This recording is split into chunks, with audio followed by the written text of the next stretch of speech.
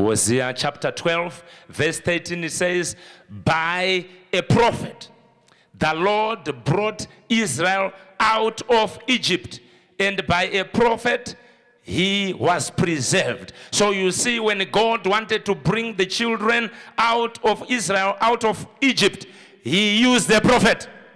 And we know it's prophet Moses.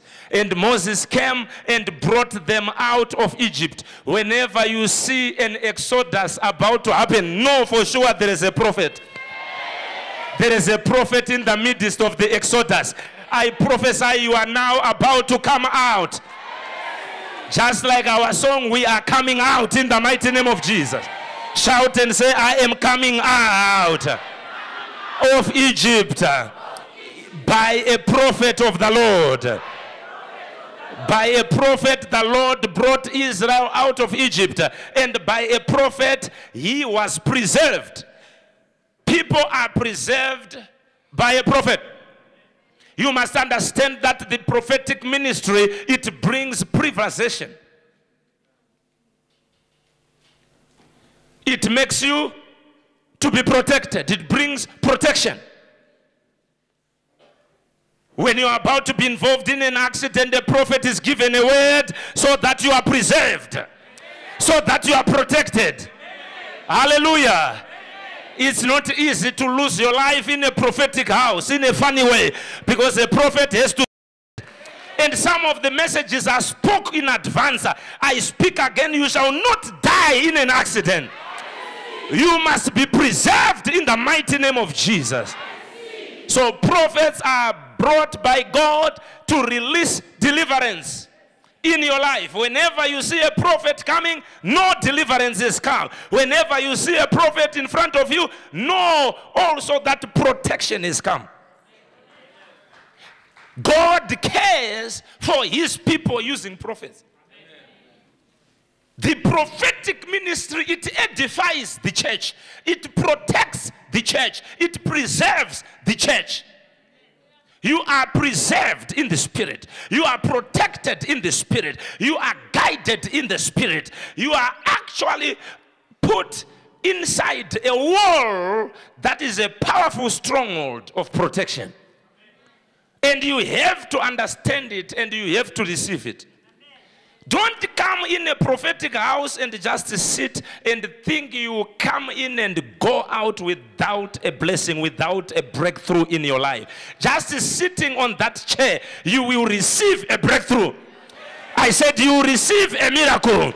I said, You receive a breakthrough. Somebody shout, I receive it in the name of Jesus. Say, Thank you, Holy Lord. Second Chronicles 2020. It says, Believe in the Lord your God and you shall be established. Believe also in his prophets and you shall prosper. Whenever you believe in a prophetic word of a prophet that you know is a true prophet and is called by God, the Bible says you will prosper. So they don't only bring deliverance, they don't only bring protection, but they also bring prosperity. I say a prophet brings deliverance, they bring preservation, they bring protection, they bring prosperity in the midst of the congregation. If you want to prosper, believe. The Bible is saying, believe his prophets which means there are many that are being used in a genuine way. It's not every prophet that is false. There are many prophets of the Lord that are being used by God. The Bible is saying, believe in his prophets and you shall prosper. This is why many people are not prospering because they don't believe, they judge, they criticize. Now, when you come in this house and you are criticizing, it's a sign you are not accepting. Criticism is a sign you are not receiving that ministry. And I have always said that you can never benefit from an anointing that you don't respect. No anointing can work for you if you don't believe it. This anointing of a prophet cannot touch your life if you don't believe it. It will never work for you if you don't open your heart towards it. You have to be yielded. You have to be yielded towards that ministry. And you must receive it by faith. I have realized that anybody who just believes in, in the ministry, even upon my life, they receive serious breakthroughs. They receive serious testimonies. But the problem is some now have got familiarity. You are now familiar.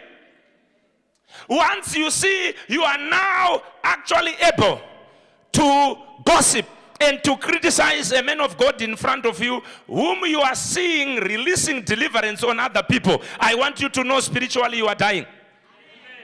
In fact, you are dead. You are in a coffin.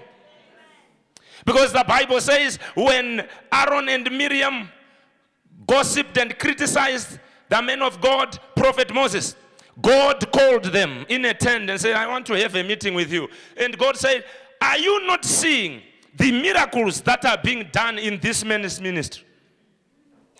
Are you not seeing the things that his ministry is bringing?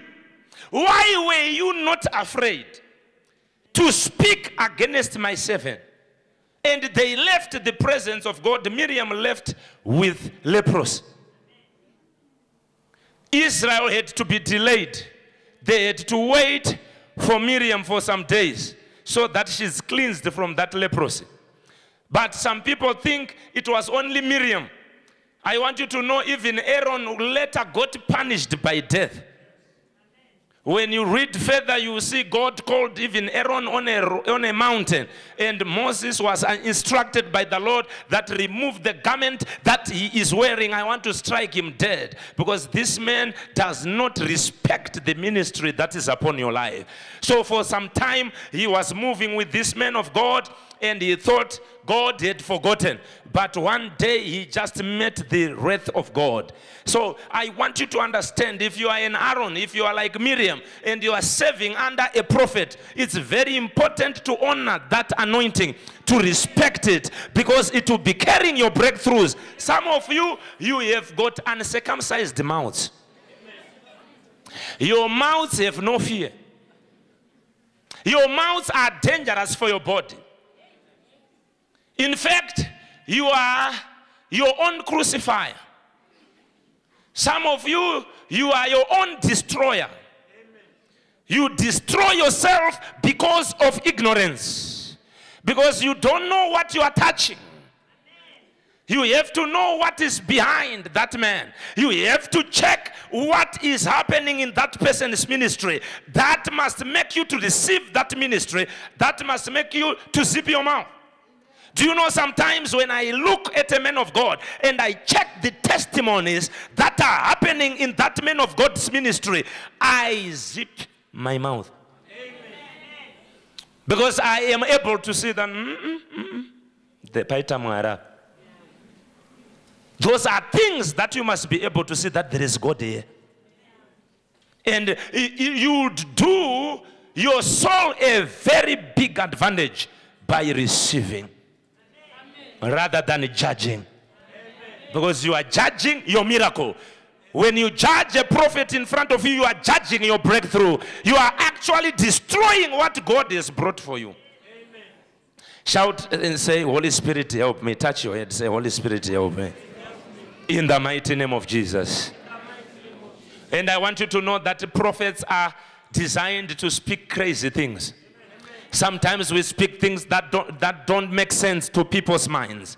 But I want you to know that if you receive it, you receive it, you receive it, and receive it, and receive it, you get it, and you prosper, and you go higher and higher. Hallelujah. If I tell you that God is showing me that you are going to rise, you are going to be a great person, just become like a little child, just become crazy, receive it in a crazy way. Just receive things in a crazy manner and God will bless you. Don't judge yourself.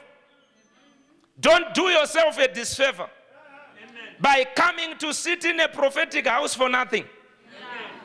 When you come, don't waste your time. They believe. Here we are coming for breakthroughs. We are coming to receive dimensions of the Holy Spirit. We are coming to receive things of the Holy Ghost. And when you come to church, don't listen to what people are saying. Come for your own business and spiritual business alone. We don't come here for things. We don't come here for people. We come here to receive our own miracles, our own breakthroughs in the name of Jesus. Somebody shout, Yes. Please, if I come to church, I want you to stop telling me your nonsense. Can I please make an announcement? When you see me coming to church, I'm not coming here to hear your criticism about that house. I'm not coming here to hear your funny nonsense stories about the men of God. What I want is my miracle. What I want is my breakthroughs. I am tired of poverty home poverty that is back home there. I am tired of the bondages in my family. I have not come here to drive my car to hear some funny issues, to hear some funny stories. I have come to hear the word of God. Don't let somebody waste your time when you come in the house of the Holy Ghost. Why waste your time? Why waste your fuel? Brethren, we are not coming to church for nothing here. Please don't be in these groups, church political groups. Run away from church politics in the mighty name of Jesus. Go for your own miracle in Jesus' name. The reason why many people are not receiving their breakthroughs in time is because they are spending most of their time lingering on nonsense, lingering on things that doesn't benefit their own souls. Go for things that benefit you. Some people are bound by demons, uh, whether they are leaders or what, they are carrying certain demonic powers doesn't want them to prosper. Because the devil knows when you speak bad about the church where you are, you cannot receive from that man because he's the source of the blessing he's the tunnel in which god uses uh, to release blessings into that congregation. So you don't block that pipe with plastics of negative and criticism. You actually open it uh, by speaking god uh, and you expand it and you create a big tunnel so that you begin to receive big things. Open the tunnel for your miracle create a gap so that you receive more. Brethren, this is how we want to receive our deliverance. I encourage you in the mighty name of Jesus. Don't waste your years in the house of God. Don't waste your years in the church. Don't sit on that chair for many years and not receive anything because you have joined a group that is in church politics. There are some people who are busybodies, as Paul said to the Corinthians. Run away from busybodies. People who don't know their ministry. People who are gossiping, not knowing they are evangelists. They are supposed to be preaching the word of God. Receive the men of God. I say, receive the men of God. Can't you see the poverty that is in your house? Can't you see the diseases that are in your family? Can't you see that you don't have time? The devil is not joking. It's not a time to speak criticism. It's a time to actually protect. It's a time to promote. It's a time to lift. It's a time to receive. It's a time to go higher. I don't want anybody to waste my time. Time on earth is very short. Of God, your days on earth are short. We don't have many earth to play such funny jokes. Some of you can't you see you are growing. You are not becoming young, you are actually growing. Your skin is changing, which means you need to be more serious uh, with the things of God the more you are going up higher in age.